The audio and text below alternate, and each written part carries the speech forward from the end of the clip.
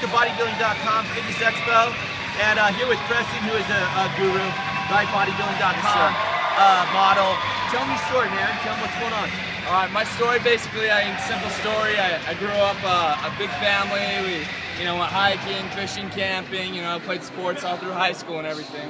And uh, but they, uh, I went on a church mission, came back, lost a little bit of weight, and then I just wanted to fill up my arms, my chest a little bit. So I did that. Went through a program, and some friends said, "Hey, you should do a bodybuilding show." And I never knew they had any amateur bodybuilding shows, so I got kind of excited about it. Prepared for one in 2011, entered it and did well, but then it was just kind of like that was it. And then online, someone said, "Hey, enter the BodySpace Sports Model Competition."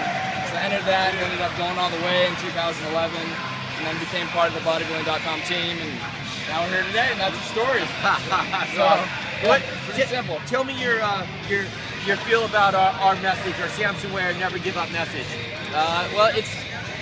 I mean, I'm a pretty spiritual guy, Yeah. so I mean, I relate a lot with that, the whole spiritual and physical Yeah. essence of never give up. Yes. I mean, there's always there's always more to do, more to give, more that someone can become. Yeah. And we go through a lot of trials in life, just like That's in right. the gym every single day. Yeah, and it, it, yeah, it's just that choice of being consistent and never giving up. You know, seeing the greater goal, and uh, like I love a quote. My last name is Noble.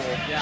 And it's it goes like, "There's only true nobility in becoming a better person than you were before. Yeah. Not in comparing yourself to other people, but only comparing yourself to your past self and no one else. Yeah. And that's how you become, you know, a noble person. Yeah. So that's what I'm trying to work on, you know, upholding my last name. You're doing great, bro. Thank you, man. I Thank you. appreciate you doing this. Thank you, Rocky.